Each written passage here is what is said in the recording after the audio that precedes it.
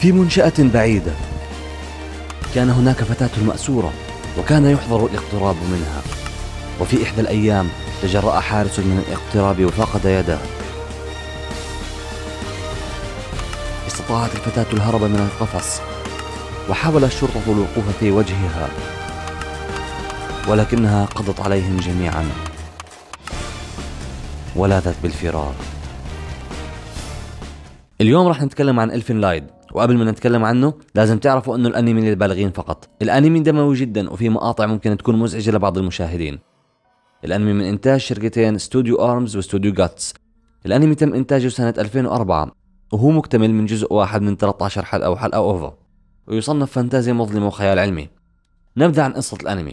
الأنمي بيتكلم عن بنت اسمها لوسي. لوسي من سلالة جديدة من الجنس البشري اسمها ديكلونيوس. الديكلونيوس بيشبهوا البشر بالشكل ولكن عندهم قرون وايدين مخفيات اسمهم النواقل. لوسي كانت محبوسة في منشأة للتجارب وفي يوم قدرت إنها تهرب. الشرطة اللي في المنشأة حاولوا إنهم يوقفوها بس ما قدروا. لوسي قتلت الشرطة بس قبل ما تهرب في قناص من الشرطة قدر يطخها في راسها ووقعت في المي. انجرفت لوسي مع المي ووصلت لشاطئ قدام شاب اسمه كوتا وبنت اسمها يوكا. الضربة اللي أكلتها لوسي براسها سببت لها انفصام بالشخصية. كوتا ويوكا لبسوها أواعي وأخذوها عندهم على البيت عشان يعتنوا فيها. وبعدين بتبدأ أحداث محاولة فريق الهجوم الخاص أنهم يرجعوا يحبسوها أو أنهم يقتلوها.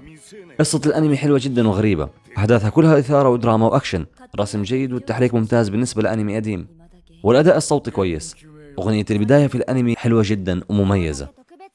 التقييم العالمي للأنمي هو 7.9 من 10 على IMDb و7.49 من 10 على MyAnimeList وتقييمي للانمي هو 8.5 من 10 وارجع بحكي لكم انه الانمي دموي جدا وفي لقطات للوسي بدون ملابس وممكن يكون مش مناسب للبعض الفين لايد موجود على امازون برايم اشكركم على متابعتكم واشوفكم في الحلقه الجايه